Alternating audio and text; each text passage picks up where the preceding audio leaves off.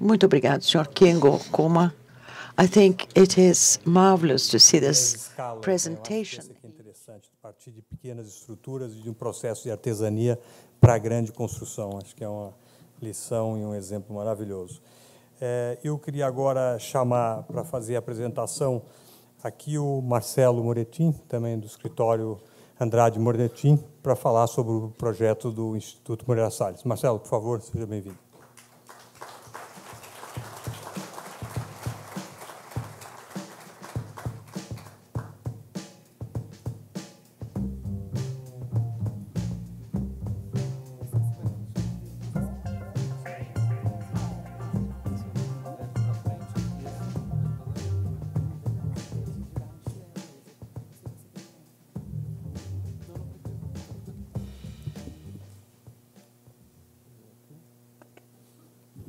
Boa tarde. Um... Bom, falar um pouquinho do, do edifício do, do IMS. Um... E a gente resolveu uh, trazer para vocês aqui, já que ele está quase pronto, né? quem resolver sair daqui e andar um pouquinho pela avenida, ele já está um mês, mais ou menos, na, da inauguração. Em vez de, enfim, concentrar a apresentação mostrando imagens, aspectos do prédio, a gente resolveu trazer um pouco é, a apresentação que nós fizemos. Esse, esse, essa apresentação é baseada na apresentação que foi feita para o júri é, no final de 2011, né, porque o, o IMS, não sei se vocês sabem, este museu, ele foi resultado de um concurso que um instituto promoveu, é, convocando arquitetos brasileiros, jovens arquitetos, enfim, para arquiteto a gente ainda é jovem, né, mas nem tanto foi uma, uma, uma oportunidade incrível é, para, enfim, discutir a arquitetura em volta de um tema tão importante quanto um centro cultural, ainda mais na Paulista. Então, é, quando a gente teve a sorte de ser convidado né, para participar né, do, do, do, do, projeto, é, logo de cara a gente percebeu que os principais desafios, no caso, é, o primeiro, não o primeiro, mas talvez um dos mais importantes, era imaginar como o edifício ia se comportar na avenida. Quer dizer, um pouco retomando a apresentação do Vinícius, a relação que ele estabelece com, com um lugar tão importante da cidade. E, além disso, evidentemente, como organizar o programa no museu é, num edifício que a gente já sabia desde o início que seria vertical. Né? A natureza de um museu, ele assim, num primeiro momento, ela não é essa. Né? É muito mais tranquilo, muito mais natural você organizar um museu a partir de um percurso horizontal mas pelas dimensões do lote, já era claro que a gente ia ter que organizá-lo né, em, em, diferentes níveis. Então, é, esse era o desafio que foi colocado do início. E algumas coisas, algumas premissas, a gente já trouxe logo também de cara nas discussões do escritório, é, que era justamente como conciliar dois aspectos que talvez pudessem ser contraditórios de início, que era o quê? Primeiro, trazer a energia da avenida, né? a Avenida Paulista é um lugar tão interessante, tão vivo, para dentro do museu, que por mais que a fruição de um museu tenha mudado muito, né, do sei lá, 100 anos atrás até hoje, é, é um lugar mais introspectivo, um lugar onde você vai, enfim, emergir numa determinada programação, requer tra tranquilidade, uma luz especial, enfim, características especiais. Então, um pouco isso ficou ali é, é, nos debates dentro do escritório, tentando encontrar uma solução. E, de início, a imagem da casa de vidro, do Pierre Charrot, é, era uma imagem que um pouco permeava todas as conversas, porque esse tipo de luz era uma luz que a gente queria para o museu. E talvez ali residisse um pouco a chave dessa, é, é, dessa solução. Quer dizer, encontrar um estádio de espírito para o edifício que pudesse, ao mesmo tempo, conciliar ou traduzir a energia que vem da avenida para um espírito um pouco mais contemplativo dentro do prédio. Então, essa foi a nossa imagem de referência. Foi assim que a gente abriu a apresentação naqueles idos de 2011. Depois disso, eh, a gente começou a analisar aspectos que são, enfim, sempre ocorrem. Em todo projeto, a gente acaba caindo um pouco nesse, nessa maneira de, de, de pensar o projeto, que é a abordagem ela parte do programa de um lado, da análise do lugar do outro, para tentar encontrar uma estratégia, porque é, por mais que um edifício tenha que traduzir uma série de enfim, características, é, a gente está sempre preocupado no caráter que ele vai ter. É, afinal, o que, que ele quer comunicar, o que, que ele quer ser. Né? Então, um pouco pensar do programa, um pouco essa, essa, essa estratégia permite que a gente identifique uma, uma chave de entendimento para o prédio e que daí isso acaba orientando todo o desenvolvimento, todas as decisões que se seguem. Então, começando aí, né, dessa, dessa maneira de, de, de pensar, a gente analisou o programa, esse foi o programa que foi dado pelo, pelo Instituto, né, e logo de cara, ler o programa já é uma forma de projeto, quer dizer, é interpretar o programa já dá alguma chave de entendimento. Então, o que a gente fez? A gente, com as cores quentes ali, a gente identificou aquelas áreas que, os, que, que interessam ao público e, nas cores mais frias, aquelas que são o apoio do museu, aquilo que o, né, o, o Instituto usa para que a oferta do, do, das exposições e toda a programação possa acontecer. E, com isso, já começamos, a gente já começou a agrupar algumas, é, algumas funções, quer dizer, percebendo que as salas de exposição eram, obviamente, o coração do, do museu, mas que também o auditório, que também vai funcionar como cinema, né, e local de, de, de para apresentação de música, e a biblioteca, elas podiam se juntar formando um novo programa, isso, ou seja, isso já é uma interpretação nossa, para que ela pudesse reequilibrar né, as atividades dentro do museu. Então, com isso, a gente mais ou menos identificou esses dois grandes é, protagonistas dentro do prédio. E, obviamente, é, o, o, o, ingresso ao museu, o lugar onde as pessoas se encontram, se reúnem, certamente hoje em dia é um dos lugares mais importantes. Né? O, a gente tem falado desde o início desse seminário que o, que o encontro talvez seja hoje é, uma das atividades mais importantes na, dentro da cidade. O museu não poderia deixar de ter esse tipo de, de espaço também. Então, é, é a partir daí, reorganizando o programa já num diagrama, né, que é uma maneira que a gente gosta de usar para entender os projetos, a gente começou a se perguntar qual seria o papel, então, desse local de encontro. Como ele deveria se, se dar dentro do museu para que toda essa, tudo isso fizesse sentido, lembrando que é um museu vertical. E a, a, a resposta mais imediata foi que, bom, vamos colocar isso, então, justamente mediando, né, colocar o espaço de encontro, o hall de entrada, entre as, as exposições e a mediateca, que foi como a gente denominou esse espaço que congregava é, teatro, cinema e biblioteca, para que ele pudesse é, é, funcionar no coração do edifício, organizando melhor a distribuição entre os espaços. Daí a gente faz uma pausa e vai olhar um pouco a avenida. Bom, aqui, toda, todas as apresentações anteriores me dispensam um pouco de entrar em detalhes, mas o que a gente fez, basicamente, foi identificar os demais, enfim, quais eram os grandes personagens aqui que já atuavam na avenida, né? e que já tinham é, é, é papéis importantes no dia a dia do, de, de, da, da, Avenida Paulista. Então, né, Conjunto Nacional, MASP, Fiesp, Fundação Casper Libero, e aqui, naquela época ainda não havia, né, eu acho que o, a reforma, tanto a reforma do SESC quanto a Japan House ainda, pelo menos a gente não tinha muito conhecimento, mas o Centro Cultural onde a gente está aqui, e junto com esses equipamentos, obviamente formam um polo muito importante do lado, né, deste lado da avenida. E a gente começou a, a, a obviamente, a infraestrutura na avenida é, é, fantástica, né? não precisa falar muito. E a gente começou a, a estudar qual era a relação no nível da avenida que cada prédio desse estabelecia. Né? De novo, o interesse nosso era aqui era ver qual era essa relação, para poder tentar, uma vez né, chegando no nosso terreno, qual caráter a gente gostaria de, de ter ali. Então, no caso da, da, da, Casper Libero, que não é um edifício cultural em si, mas a escadaria ela, tra ela traz uma vida urbana muito interessante para quem usa aquele espaço. No caso da Fiesp, principalmente depois da reforma do Paulo Mendes, né, com um acesso em meio nível, para cima e para baixo, transformou completamente o, o térreo de um edifício é, é, de escritórios num dos lugares mais visitados da avenida. No caso do MASP, né, já falamos aqui, o Belvedere. No conjunto nacional também, a ideia da fruição, né, a calçada atravessando o edifício. E o MS, apesar de ser um endereço absolutamente fantástico, o lote em si, ele não trazia é, indicadores muito claros. Né? Ele não é uma esquina, ele, ele é, um, é, um, lote relativamente pequeno, né? ele tem 20 por 50, ele não conecta uma rua com a outra, quer dizer, é um miolo de quadra. Então, surgiu a dúvida né, do que fazer aqui.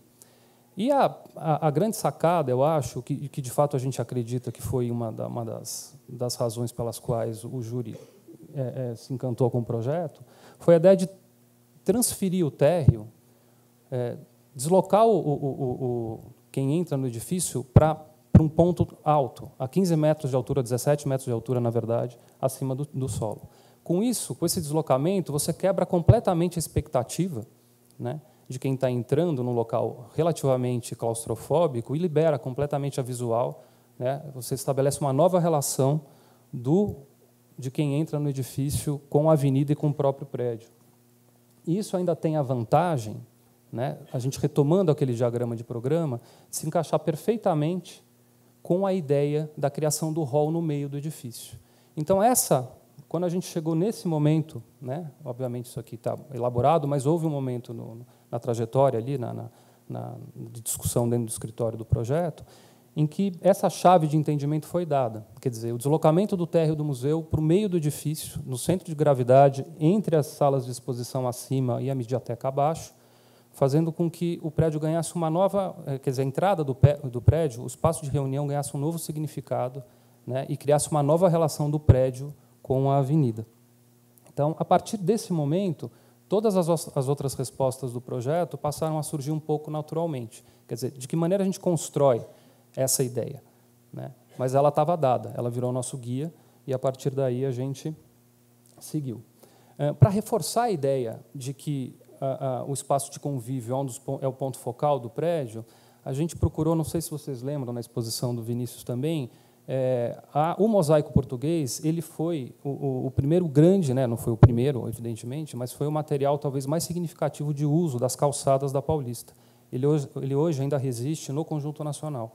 Então a gente trouxe esse material para configurar a praça, né, e hoje ela, ela será chamada dessa maneira. A gente chamava de térreo elevado no concurso, mas hoje o nome dela, quando vocês forem visitar o museu, é Praça IMS.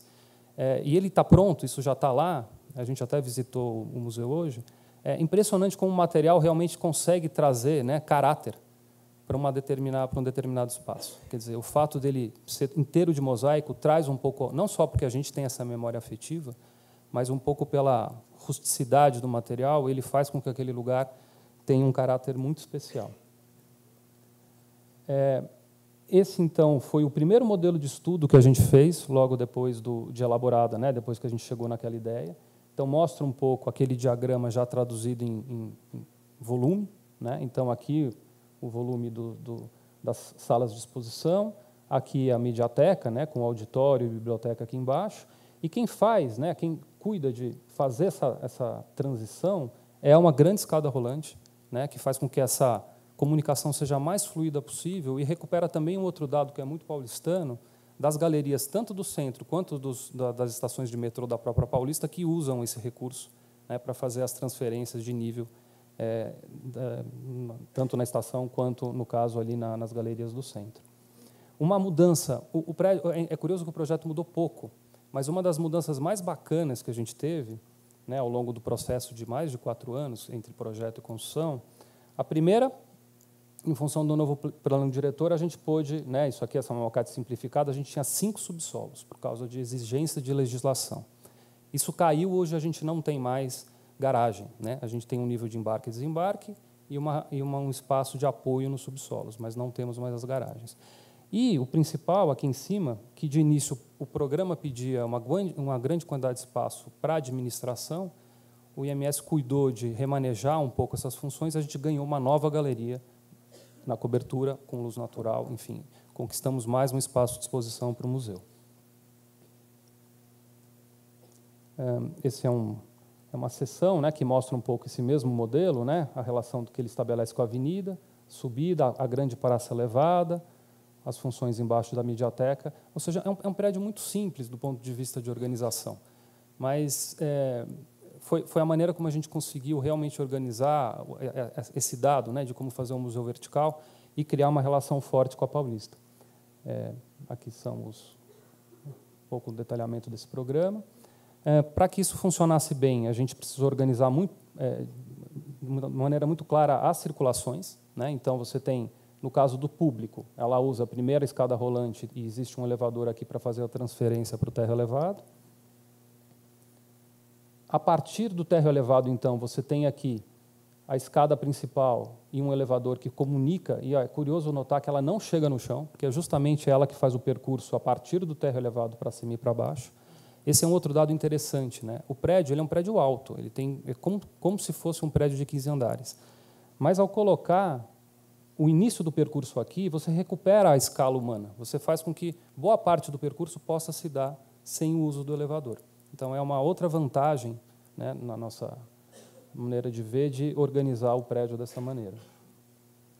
Há uma circulação de, de, de funcionários específica no fundo e um grande montacargas, né, 3 por 5, para fazer todo o transporte das obras dentro do edifício. Além disso, é, a parte de climatização, né, houve um, uma preocupação grande tanto do projeto quanto da obra de fazer o, o, o prédio o mais econômico possível do ponto de vista de, de, uso de recursos, como as salas de exposição elas exigem controle muito rigoroso, né, os próprios museus que emprestam as obras, os acervos exigem que isso seja controlado de uma maneira muito específica, é impossível você garantir isso só com meios naturais. Mas a gente fez questão de fazer com que os espaços coletivos, né, aqueles de uso público, principalmente o terra elevado, ele fosse livre de ar condicionado. Então isso é resolvido a partir do uso do, do, da solução que foi dada para o vidro. Né? O vidro, no início do século XX, ele era sempre o vilão do ponto de vista térmico, principalmente nos países tropicais. Mas isso deixou de ser verdade, né? porque você consegue é, é, combinar vidros e outras, né, outros filtros, fazendo com que, na verdade, nesse caso aqui, essa pele externa ela funcione como um filtro. Então, ela quebra o sol, ela deixa a luz exatamente do jeito que a gente queria, né? remete àquela imagem inicial da casa de vidro. E, com, e por conta da entrada de, de, ar frio que acompanha aqui a escada rolante, a saída do ar quente por cima, né, dos átrios que a gente tem de um lado e do outro, a gente faz com que esse ambiente seja de transição do ponto de vista térmico. Quer dizer, no verão, está 34 graus fora, num dia muito quente, a hora que você fosse entrar né, na, na, na, galeria que está 23, porque precisa, a praça vai estar 25, 26. Quer dizer, ela cria um, um, um ambiente de transição, né, que faz com que você não despenque né, de 34 para 23, todo mundo sai espirrando dentro da sala. essa é a criação da pele que a gente comenta, né? Que ela, se vocês lembram daquela primeira maquete, ela apazigua um pouco, ela, ela faz com que o, toda essa volumetria complexa ela fique mais serena, que era uma das vontades também. Quer dizer, a gente tinha consciência clara de que a avenida está formada. Né? A gente evitou criar marabalismo, é, é, ah, virtuosismos formais. Né? A gente entendia que o prédio tinha que justamente criar uma relação interessante com a avenida e permitir que o museu, que o MS conseguisse fazer as exposições que, ela, que ele pretende fazer ali. Né? Então, o que é, orientou as soluções arquitetônicas foi muito mais essa preocupação do que um desejo formal específico. Né? Então, apesar da volumetria né, ter essa cara, o que, o que dá a imagem final do edifício é justamente essa pele, que é muito mais serena, que ela se transforma de acordo com a luz do dia. Então, se vocês passam de manhã, que a luz está batendo atrás da Bela Sintra ali, o prédio se ilumina por trás. Se você, no fim da tarde, pega com a luz batendo de frente na avenida, ele brilha. À noite, ele vai virar uma lanterna, né, porque ele é translúcido. Então, todas essas relações foram pensadas né, no, no, uso do material. Quer dizer, ele é um, ele é um prédio que expressa humor. Né, ele, é, ele vai ficar mal-humorado quando tiver muito, muito cinza lá fora, porque ele vai ficar cinza que nem o céu. Né, em dias mais luminosos ele vai ficar brilhante, vai ficar é, assim como como no dia de hoje, por exemplo. Então essas são maquetes, foram as maquetes usadas no no, no concurso. Né, e é bacana ver, de ver que, por exemplo, essa imagem que sintetiza um pouco o projeto, ela permanece até hoje. Né? Então a gente conseguiu construir aquilo que a gente queria. Né? E, a, e, e o que está iluminado aqui ou pensando por oposição, o que, o que é escuro são justamente as áreas de programa. São os lugares em que você entra e que tem a atenção total naquilo que está exposto. As áreas que estão iluminadas, né, cheias de luz, são as, os lugares onde as pessoas vão se encontrar. Fazendo um pouco a analogia né, da, da, da exposição que o Vinícius deu, é o lugar de encontro, é, é, o, é o, solo urbano que foi levado para cima. Né? A gente conseguiu transferir, ou assim a gente pretende, né, toda a energia que tem aqui para cá né, e a partir daí para dentro do museu, de acordo com o que cada um quiser ver. A partir daí, quer dizer, eu até vou rápido aqui porque não, não interessa tanto, são andar a andar o que, o que acontece em cada um deles. Né? A gente tem aqui os subsolos, que são apoios técnicos.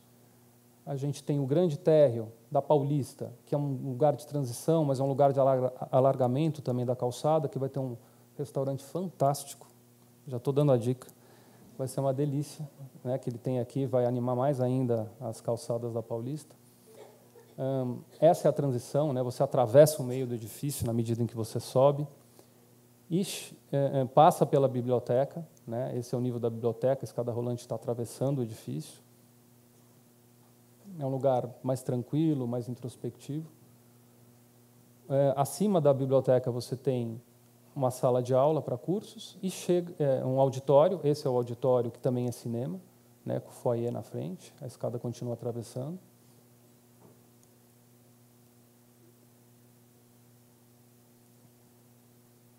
Uma área de apoio e finalmente é, chegamos na praça, que ela de fato é uma praça. Ela é totalmente aberta. As áreas, as áreas de apoio elas são como que mobiliários lançados no meio dessa praça. Não tem nada fechado.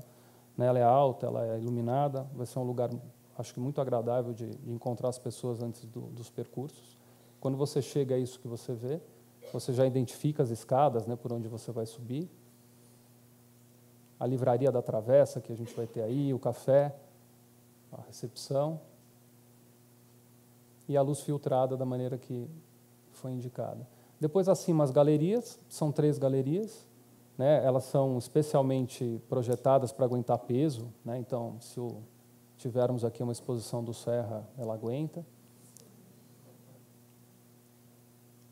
Condições de iluminação muito bacanas, a gente conseguiu trazer, o Instituto deu é, é, toda, toda, todo o apoio para que a gente conseguisse trazer os sistemas mais atuais e, e mais capacitados de iluminação, de controle de, de temperatura, enfim. É, hoje a gente visitou, tá, é, é curioso ver, está tá bem parecido com a imagem as novas galerias e no fim a, a galeria que foi recuperada, né, no, no, no, desculpa, no nono andar, no último andar, você tem varandas que se abrem para a avenida, você é, é, vão ter estúdios aqui de fotografia analógica, digital, quer dizer, os cursos vão poder ser ministrados aqui também. E mais algumas imagens aqui do átrio principal. E voltamos para fora.